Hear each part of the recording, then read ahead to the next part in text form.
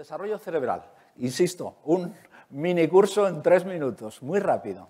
Eh, la superficie del embrión, eh, lo que va a dar básicamente dos cosas clave, piel y sistema nervioso. Entonces, en esa superficie, en un momento determinado, esa parte que, que está dibujada en violeta, se va a empezar a bajar hacia abajo, va a formar lo que llamamos el surco neural y finalmente se va a separar y va a formar el tubo neural, que nos va a dar el sistema nervioso central. Y unos grupos de células, que es lo que he marcado aquí en verde, se van a desprender y van a formar el sistema nervioso periférico. Tan fácil como eso. Ese tubo se va a empezar a cerrar por el centro y va a ir progresando hacia los extremos. Entonces, si no se cierra bien la parte anterior, va a ser un desastre terrible, una anencefalia. El niño no va a desarrollar el cerebro. Las imágenes, si buscáis en Internet, son terroríficas, ¿eh? son muy fuertes. Y si no se cierra la parte de atrás, pues es otra cosa que todos hemos ido a hablar, que son las espinas bífidas.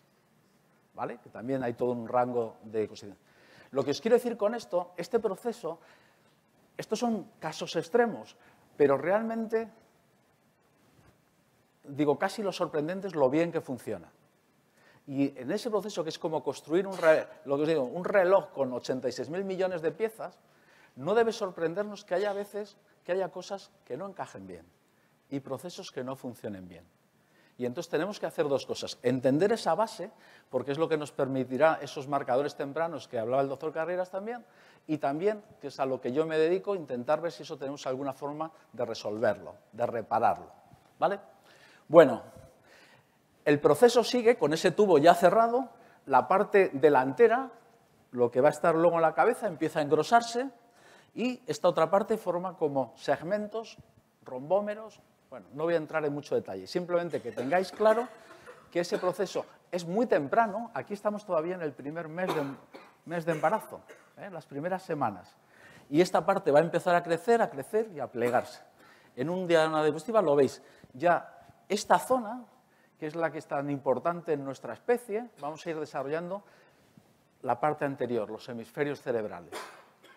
Y ahí la evolución ha hecho dos trucos maravillosos. Uno, plegar la superficie y otro, separar izquierdo y derecho, porque necesitábamos más superficie de corteza cerebral. Pero luego a esto se va a superponer esa plasticidad maravillosa que tenemos. Os pongo un ejemplo. Hay un estudio reciente que lo que han visto, el parto debe ser muy duro, no solo para la madre, sino también para el bebé. ¿Por qué? Porque nuestra cabeza está al límite casi del diámetro del canal del parto. Es complicado, no podemos tener cabezas más grandes. Entonces, en ese sufrimiento que hay en ocasiones, algunos niños tienen una cierta lesión. Y lo que se ha visto es que los que tenían una cierta lesión que afectaba al hemisferio izquierdo, a ese famoso área de Broca que hemos ido a hablar antes, no tenían problemas para hablar, aunque tenían cojeras y cosas. Cuando se estudió el cerebro de estos niños que habían tenido un historial clínica de un parto muy complicado, lo que se encontró es que esa área de Broca estaba en el hemisferio derecho. ¿Eh? Algo que había sucedido en el momento del parto y había hecho ese cambio funcional de llevarlo a otra zona porque es muy importante hablar, porque es fundamental para nuestra especie, para nuestra vida diaria. ¿Vale? Sobre eso volveré, sobre lo importante que es hablar.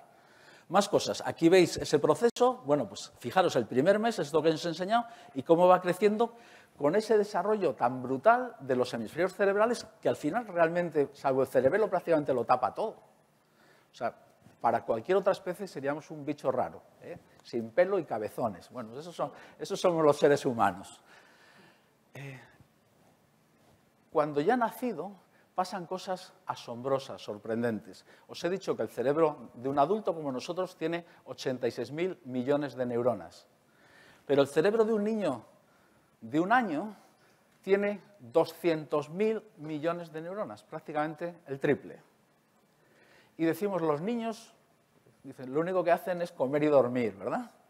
Bueno, el 60% de lo que comen, de las calorías que ingieren, van destinadas al cerebro, el 60%. Por eso es tan importante, porque está teniendo un desarrollo brutal en esos, sobre todo los dos primeros años de vida. Y otra cosa que se ha visto es que junto a esa necesidad de alimentación, de que una alimentación sana, necesitamos otro tipo de alimentación, de lo que probablemente somos, lo tenemos ahí, pero lo tenemos un poco guardado. para ese desarrollo de ese cerebro de un niño, hacen falta cosas como cariño, caricias, palabras, besos, abrazos. Y el dato llamativo es que si falta la comida, el cerebro no se desarrolla bien. Pero si falta el amor, tampoco se desarrolla bien. Y eso es algo de lo que tenemos que ser plenamente conscientes, porque tristemente existen algunos niños, luego hablaré muy brevemente también, donde la mejor opción que tienen de recibir algo de cariño es en la escuela, porque en su casa lo tienen mucho más complicado por los motivos que sean, ¿vale? Bueno, y hay un proceso maravilloso que es la incorporación del lenguaje, que es la herramienta básica de nuestra especie para sociabilizar.